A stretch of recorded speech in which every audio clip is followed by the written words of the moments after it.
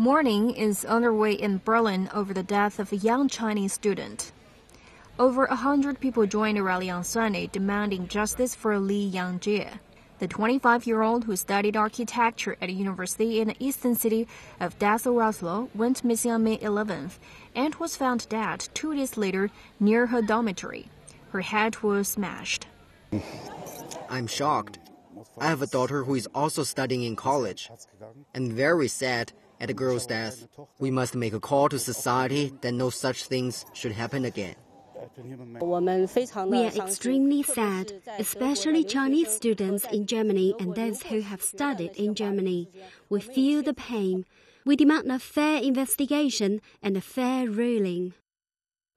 Two suspects have been arrested, and the mother and stepfather of one of them are police officers.